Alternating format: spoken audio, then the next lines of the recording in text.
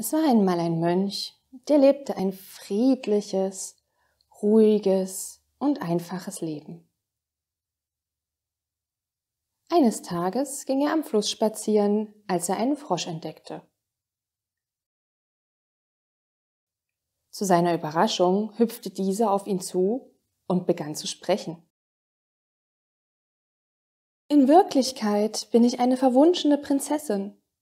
Wenn du mich küsst, werde ich wieder ein Mensch und aus Dankbarkeit für meine Erlösung werde ich dich heiraten und einen reichen Prinzen aus dir machen. Ich werde bis zum Ende unseres Lebens nie wieder von deiner Seite weichen. Der Mönch überlegte einen Moment, hob den Frosch auf und setzte ihn vorsichtig in seine Tasche. Hey, empörte sich der Frosch. Willst du mich nicht küssen? Was ist mit all den Dingen, die ich dir verspreche? Der Mönch wiegte seinen Kopf, schaute den Frosch ruhig an und antwortete Nun, nachdem ich alle Vor- und Nachteile besonnen gegeneinander abgewogen habe, kam ich zu dem Schluss, dass ich doch lieber einen sprechenden Frosch hätte.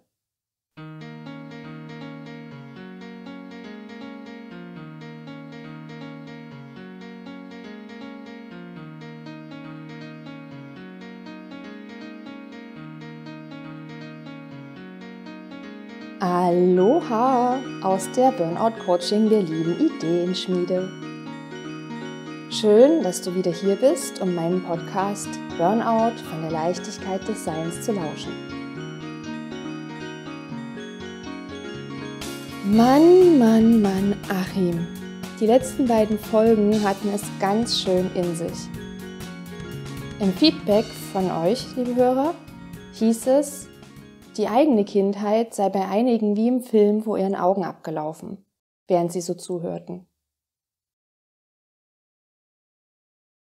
Die Erkenntnis, was genau oder dass vielleicht viel mehr in der eigenen Kindheit schiefgelaufen ist oder auch, dass dies viel größere Auswirkungen auf dein Erwachsenenleben hatte als bisher angenommen, war ziemlich herb.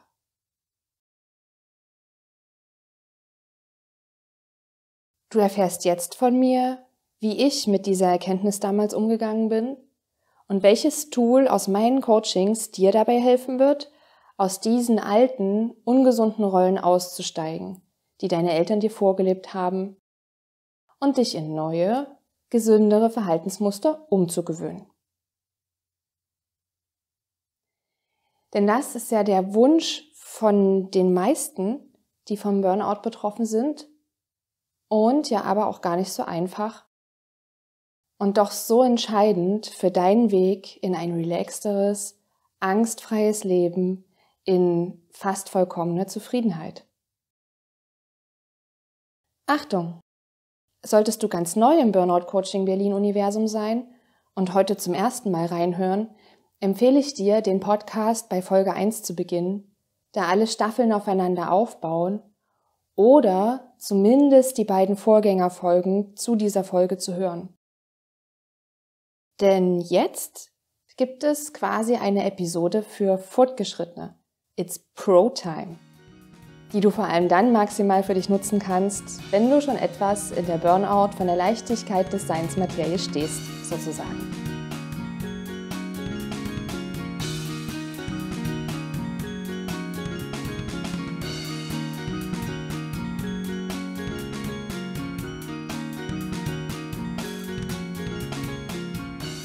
In den letzten beiden Episoden habe ich ja gesagt, dass wir die Muster unserer Eltern, inklusive Blick und Verhältnis zu der Welt, in der wir leben, frühzeitig in die Wiege gelegt und unsere ganze Kindheit lang immer und immer wieder vorgelebt und, selbst im Erwachsenenalter, immer wieder bestätigt bekommen. Und dass das manchmal eher hinderlich als hilfreich ist und uns im schlimmsten Fall darin ausbremsen kann, unser Potenzial auf allen Ebenen voll zu entfalten.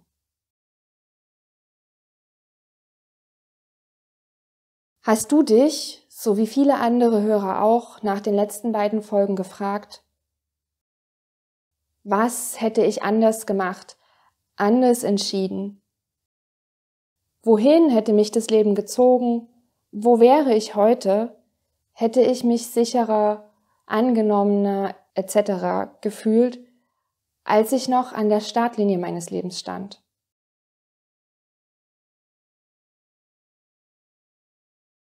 Ich selbst bin aufgewachsen mit unheimlich vielen Erwartungen von außen. Sätze wie, jetzt schau mal, der Erik macht die gleiche Aufgabe wie du so viel besser oder was sollen die anderen von dir denken oder hör auf zu weinen, die Leute gucken schon ganz komisch, waren in meiner Kindheit an der Tagesordnung. Die Erfüllung von fast jedem meiner Wünsche war an Bedingungen geknüpft wie besseres Benehmen, bessere Noten. Und nach meinem Burnout im Alter von nur 20 Jahren zog ich dann in eine große Wohngemeinschaft nach Berlin, um neu anzufangen, in der viele exzentrische Künstler aus aller Welt lebten. Die kamen aus Brasilien, Mexiko, der Schweiz und so weiter. Und sie führten ein äußerst unkonventionelles Leben, was von meiner damaligen Vorstellung, wie das Leben sein muss, nicht weiter hätte entfernt sein können. Sie arbeiteten teilweise bis in die frühen Morgenstunden und verdienten so ihr Geld, oder sie feierten bis in die frühen Morgenstunden oder manchmal gingen sie früh schlafen und wenn ich dann morgens um 8 Uhr in die Küche kam, stand dort so ein riesiger Topf mit Fleischsuppe, welcher schon seit einiger Zeit vor sich hinköchelte. Und abgesehen davon sangen und tanzten sie viel. Ja, und ab und zu verschlief einer oder verpasste einen wichtigen Termin. Und dann wurde trotzdem gelacht und erstmal Kaffee getrunken. Und offensichtlich machte jeder einfach, wonach ihm gerade war. Manchmal habe ich echt gedacht, ich flipp aus. Meistens stand ich jedoch nur da und staunte Bauklötze. Ich meine, wie, wie, wie kannst du denn in einem Land wie Deutschland, wo so viel Wert darauf gelegt wird, dass man sich bloß nicht von der Masse abhebt und auffällt, damit man anerkannt ist. Wo einfach nur die Tatsache, dass du sagen kannst, ich habe einen unbefristeten Vollzeitvertrag, für ein zufriedenes Umfeld und Anerkennung sorgt. Wie bitteschön konnten die so aus der Art fallen und trotzdem ein offenbar leichtfüßiges und befreites glückliches Leben führen. Also für mich war es echt immer so nach dem Motto, ich habe gerade aus Versehen den Termin fürs Ummelden ähm, meines Wohnsitzes auf dem Bürgeramt verpasst und deshalb fast einen Herzinfarkt bekommen. Und du hast gerade deinen Flug zu deiner eigenen Ausstellungseröffnung verschlafen, aber sitzt hier gechillt mit deiner Kaffeetasse und wünschst mir strahlend einen guten Morgen? Dein Ernst? Und während du als alter Burnout von der Leichtigkeit des Seinshase dich vielleicht gerade fragst, ob oder warum ich diesen Teil meiner Geschichte nochmal erzähle, immerhin kennst du den ja schon aus der ersten Staffel, haben wieder andere Hörer mich angeschrieben nach diesem ersten Beitrag und gefragt, wie das denn aber möglich war, dass meine neuen Freunde so ganz anders mit ihrem Scheitern und den täglichen Challenges des Lebens umgingen als ich. Und ob das dann auch wieder so ein Prägungsding gewesen ist. Meine Lieben, aufmerksamsten und schlausten Hörer auf der ganzen Podcast-Welt, ihr habt natürlich recht. Ganz genau so ist es. Und es stimmt, ich greife diese Geschichte nochmal auf. Denn das Zusammensein mit dieser bunten Truppe verschaffte mir eine einzigartige Chance, aus der sich später ein ganzes Coaching-Tool entwickelte. Nämlich haargenau mitzuerleben und verfolgen zu können, wie und dass es auch anders geht, als all die Muster und Vorstellungen und sehr negativen Bewertungen, die ich aus meiner Kindheit und von meinen Bezugspersonen mitgenommen hatte. Eine Alternative zu haben, war mega wichtig für mich. Denn damals, nach einigen Monaten Psychotherapie, war es, als ob sich, ja, so ein schwerer Vorhang gehoben hatte. Das hört sich cool an, war aber eigentlich super ungeil. Ich musste schmerzlich anerkennen, dass fast alle meine Muster und fast alle Annahmen über unsere Welt und über mich selber und dieses Leben, die ich in meiner Kindheit vorgelebt bekommen und übernommen hatte, extrem ungesund und negativ waren. Die Wahrscheinlichkeit, dass sie viel zu einseitig und am Ende nicht mal korrekt waren, war riesig.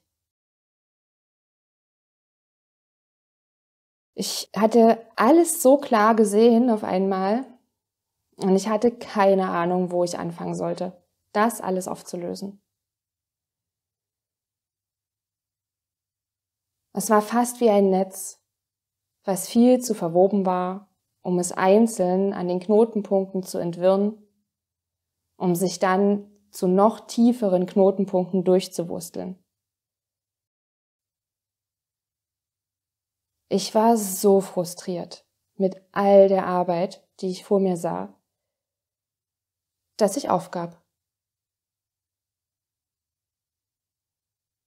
So nach dem Motto, dann lösche ich jetzt einfach die ganze Datei und mach's lieber nochmal komplett neu. Ich beschloss, all das, was ich unbewusst übernommen hatte und für mich als so ungesund einschätzte, fallen zu lassen und startete das größte Experiment meines bisherigen Daseins. Nämlich alles, und ich meine wirklich alles, nochmal neu zu probieren neu zu beobachten und so zu tun, als ob ich nicht wüsste, wie Arbeit ist, wie eine Mutter ist, wie ein Partner ist. Du weißt schon aus den anderen Folgen, was ich meine. Ich warf sozusagen alle Kisten aus dem Unterbewusstseinsregal und startete in mein neues Leben in Berlin mit einer völlig neuen Annahme über alles, was da draußen auf mich wartete. Nämlich der, mit der wir eigentlich geboren werden, dass es einen schönen Platz für mich geben wird, dass andere Menschen mir wohlwollend und freundlich gesinnt sind, selbst wenn wir uns gar nicht kennen. Dass ich nach Hilfe fragen darf, dass ich Zeit habe, dass mir Fehler gerne verziehen werden, dass ich unbeschwert sein darf, dass ich darauf vertrauen kann, dass dieses Universum mich glücklich sehen will. Ich wollte testen, ob sich mein Lebensgefühl wirklich so sehr verändern würde, nur indem meine Annahmen darüber, wie die Welt wirklich ist, sich änderten. Ich drückte also die Löschtaste sozusagen und begann mein Verhalten danach auszurichten und beobachtete, was tatsächlich passierte, wenn ich das tat. Mit meiner Arbeit, den Vorgesetzten, die ich damals hatte, den Behörden, meinem Vermieter, meinem Partner und so weiter. Ja, was soll ich dir sagen? Es war hart. Das Gefühl, was sich aber nach und nach immer mehr einstellte, war der Hammer. Und ja, wo ich heute stehe, weißt du, viele Jahre später nutzte ich diese Erfahrung und fing an, sie in meiner Arbeit als Burnout-Coach mit anderen psychologischen Strategien zu kombinieren. Und hier an dieser Stelle kommt dann mein bunter WG-Haufen von vorhin wieder ins Spiel, ohne den ich diese Inspiration vielleicht so gar nicht gehabt hätte. Also, let's talk about die Idolstrategie. Die Idolstrategie besteht aus nur zwei Schritten. Und ich glaube, es wird dir relativ leicht fallen, diese beiden Schritte zu verinnerlichen. Schritt Nummer eins: Wenn du dich in einer Situation wiederfindest, in der erlernte Ängste in dir hochsteigen oder Pessimismus oder Ärger oder was auch immer, was du eigentlich in deiner Sicht auf die Dinge gar nicht haben willst. Frag dich, welcher Teil spricht, denkt, bewertet, handelt gerade? Wir haben die Hoffnungen, Ängste, Erwartungen, Bewertungen, die Idee davon, wie diese Welt tickt, von unseren Eltern übernommen und in unsere Persönlichkeit integriert. So formulieren es die Psychologen und das ist wohl tatsächlich erstmal so bitter, wie es sich anhört. Das Gute daran ist, dass unser Unterbewusstsein die Kisten, in denen es all das aufbewahrt, sehr gut beschriftet hat. Es erinnert sich also tief drin noch ganz genau daran, dass die Idee, wie unsere Welt da draußen ist, nicht von ihm stammt. Auch wenn es uns gern das Gegenteil versucht zu verkaufen.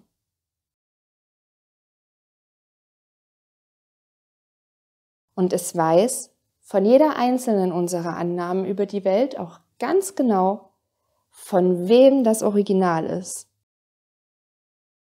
Und diesen Umstand kannst du dir zunutze machen, immer dann, wenn du merkst, dass du in bestimmten Situationen nicht aus deiner Haut kannst oder wenn du dich im Nachhinein über deine eigene Reaktion oder dein Handeln ärgerst, weil du dich etwas schon wieder nicht getraut hast oder zu schnell wütend geworden bist oder was auch immer. Welcher Teil spricht, denkt, bewertet oder handelt gerade. Gemeint ist damit, frag dich einfach, welche Person aus deiner Kindheit jetzt hier gerade aus dir gesprochen oder gehandelt hat. Oder ängstlich oder negativ ist und so weiter. Und hundertprozentig wird dir super schnell in Zehntelsekunden eine Person durch den Kopf gehen, die genauso jetzt gehandelt hätte wie du oder denken würde wie du. Und du wirst staunen, wie sehr dir das die Möglichkeit verschafft, die Dinge plötzlich neutral und ohne diese Prägung zu betrachten und dementsprechend auch neu zu bewerten. Und du wirst erstaunt sein, wie viel leichter es dir danach fallen wird, anders zu handeln oder zu reagieren, als du es gewohnt bist, vor allem, wenn du dir auch noch meinen heißgeliebten zweiten Schritt hinzuziehst. Nachdem du das Original, die Person, die deine Sicht und Reaktion auf diese Art von Situation geprägt hat, enttarnt hast, frag dich, wer würde aus meiner Sicht wahrscheinlich angstfreier, vorurteilsfreier, sanfter, eben einfach ein bisschen besser mit dieser Situation umgehen. Und wenn du dir jemanden ausgesucht hast, frag dich als nächstes, was vermute ich, was diese Personen sagen, beziehungsweise wie sie diese Situation bewerten oder behandeln würde. Und dann atme tief ein, Augen zu und durch. Probier es aus. Probier so zu handeln, wie das Idol, die Person, von der du denkst, dass sie diese Situation gesünder handeln würde, als die Person, von der du unbewusst als Kind dein Verhalten oder deine Bewertung dieser Situation übernommen hast. Übelst viel Überwindung kostet. Das kalte Wasser wartet auf dich. Aber dazu komme ich gleich noch. Nach dem Mantra der Woche, in dem es heute zum ersten Mal eine Lücke gibt, in die du den Namen einsetzen kannst, der dahin passt. In meinem Fall war das oft der eine oder andere meiner Mitbewohner. Du kannst dir aber auch weniger nahe Idole suchen, wie deinen Chef oder einen Politiker oder eine Schauspielerin, eine Romanfigur, was immer dir in den Sinn kommt.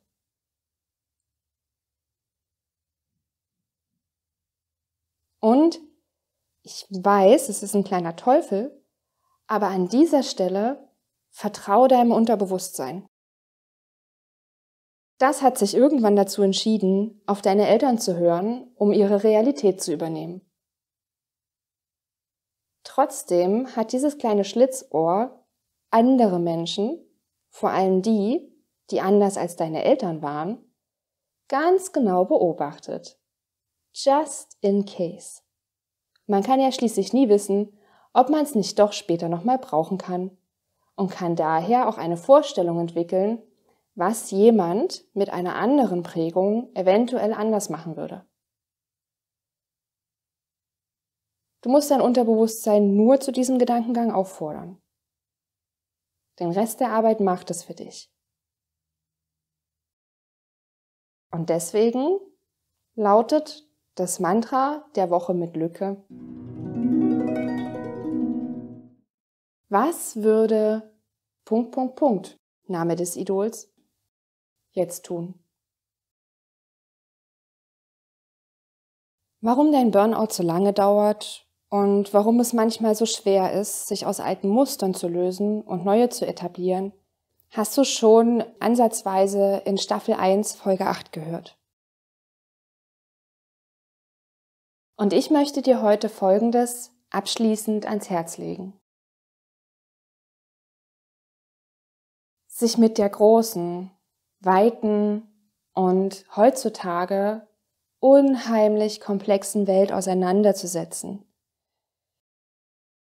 Und das Bild, welches du von ihr und den Menschen auf ihr hast, zu überprüfen und vielleicht von Grund auf nochmal zu hinterfragen und neu zu denken, und dann auch noch umzusetzen, ist wirklich nicht leicht und erfordert sehr viel Zeit und Geduld mit dir selber.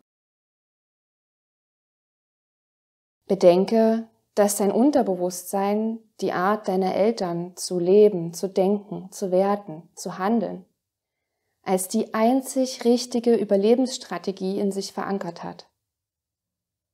Es hat jeden Satz, jedes Erlebnis durch ihren von dir übernommenen Filter gejagt und sie dadurch auch noch immer und immer wieder fälschlicherweise bestätigt. Jedes Mal, wenn du deine alten Muster durchschaust und stattdessen ein neues ausprobieren willst, wirst du eine unheimlich laute innere Alarmsirene hören. Dein Unterbewusstsein vermutet Lebensgefahr, wenn du nicht das tust, was dir dein Leben lang als die sichere und einzig richtige Lösung verkauft wurde. Und so kommt es, dass du dir manche Situationen anschauen, eigentlich die gesündere, neue Entscheidungs- oder Handlungsalternative erkennen und trotzdem nach deinem alten, ungesunden, gewohnten Muster reagieren wirst. Chill, ärger dich nicht. Du machst trotzdem Fortschritte. Jede Reise beginnt bekanntlich mit dem ersten Schritt. In diesem Fall ist es das Erkennen.